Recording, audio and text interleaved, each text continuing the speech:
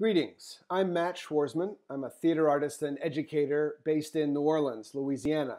Welcome to episode 5 of my cultural activism vlog. I'm co author of Beginner's Guide to Community Based Arts. In this episode, we're going to look at the same issues brought up in the Beginner's Guide in the case study entitled Talkback about the work of photographer and community activist Tori Reed in Denver, Colorado. In the story, Reed explained how she used photography to get people talking to one another across race, class, and age. This time, I found an organization that stimulates cross community dialogue through theater.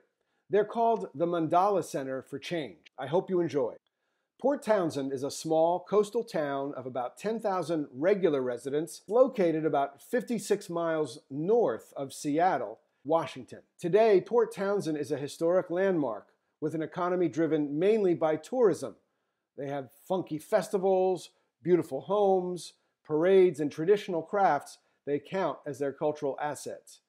But behind this quiet and pleasant exterior, demographics are changing. Port Townsend is becoming polarized with a growing population of wealthy retirees and a shrinking population of young people and working people.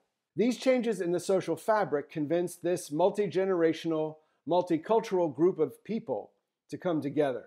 That was 1999. Today, the Mandala Center is a multidisciplinary organization.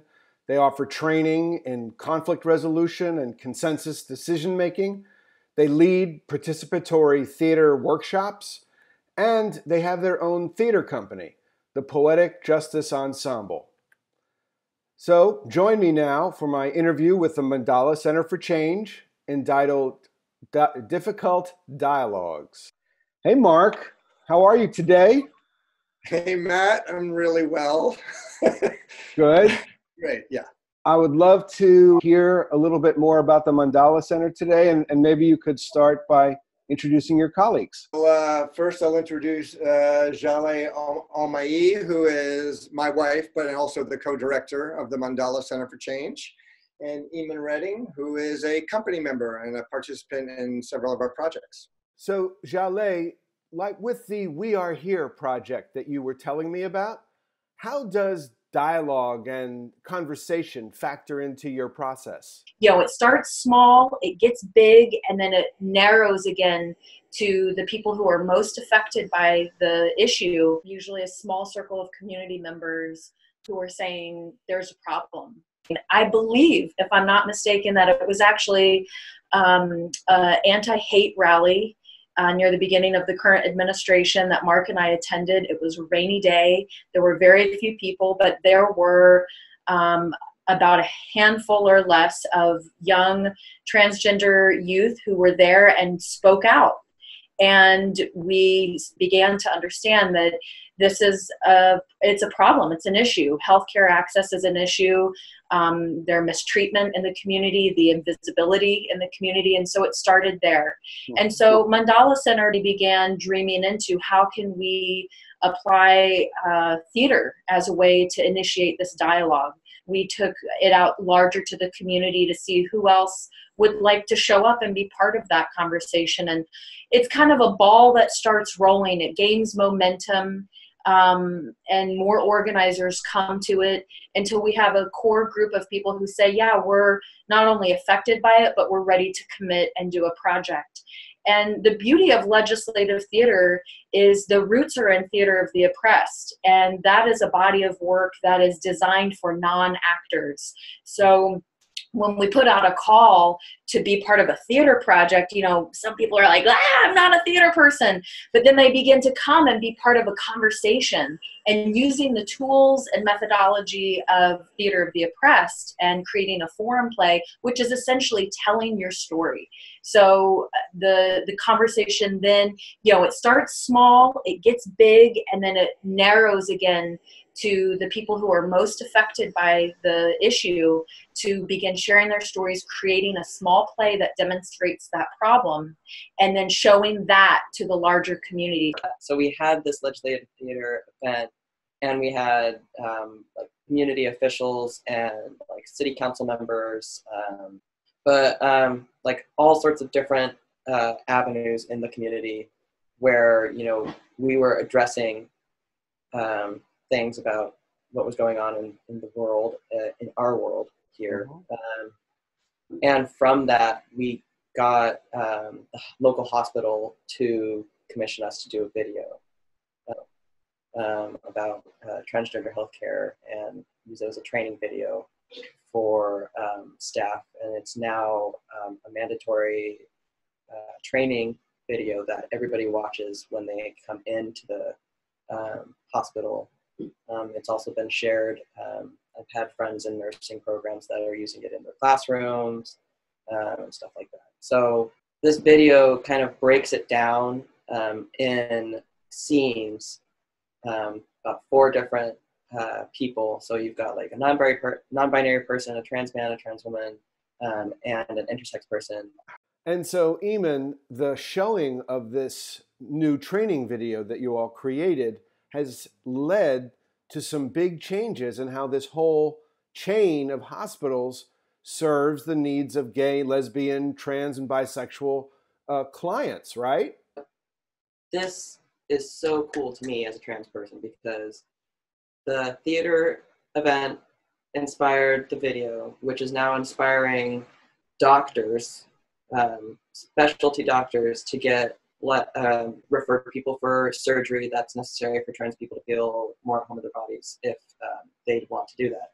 We want to be able to prescribe uh, hormone replacement therapy um, and all of this kind of stuff. So they're actually like really actually getting this training. They're having doctors come over from Seattle to help the doctors here um, learn how to deal with this stuff. And um, the dialogue started because of um, it's like this mutual like the healthcare equity committee was a thing at the time of the legislative theater event but between the two of them like this yeah, event happened and then yeah literally it's just kind of like a domino effect happened.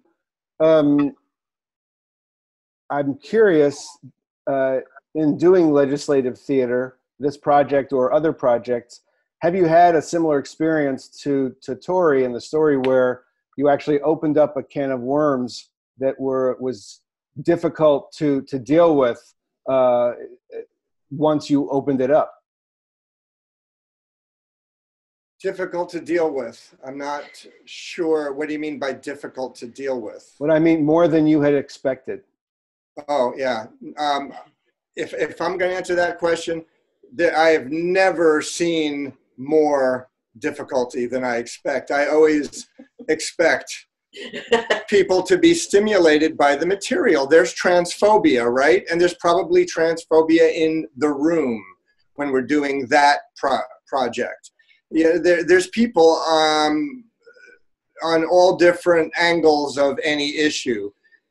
Would it would it be useful? I mean, I don't know if this is backtracking or following the track that you're on, but would it be useful because you asked about the conversation the, and the, the difficult conversation. I mean, every social justice issue is a difficult conversation. You want to talk about race, you want to talk about youth and adults, you know, uh, just youth issues, period. School, that was a major factor of our legislative theater project was, was the education system. We haven't talked about that, but we had high school principals showing up many actually all, all of the local high school and middle school principals showing up for this legislative theater event and they were being made to look bad on stage. That's a difficult conversation. So, but it, but but we can do it. We've done it with police and youth, you know, where the the youth are, are able to raise their middle finger at police on stage. But it's okay because of the container of the art of the theater. But it's a genuine middle finger, right in a uniformed bulletproof vested, gun toting Seattle police officer. Mm-hmm. I mean, you know, we've. Uh, that's but that's what theater can do you can hold these difficult conversations kind of conversations we're talking about are not limited to an interaction between two people you know and and in order to sustain the conversation in fact we need that ebb and flow of many people and then really strategic people and then um, you know, definitely centering the voices of the people who are being most affected by the issue that we're we're tackling, and that we continue to center those voices. It, it can get out of hand where the legislators or perhaps even the activists and organizers on the ground like to take the lead and maybe make some do some guesswork about what's needed and so there's a uh, a strong request, maybe even I'd say a red flag around just ensuring that the conversation continues to center and include the people who are most affected by the issue that is being tackled. Awesome. Awesome. Mandala Center, thank you from New Orleans. Really, it's been a pleasure. Um, good luck.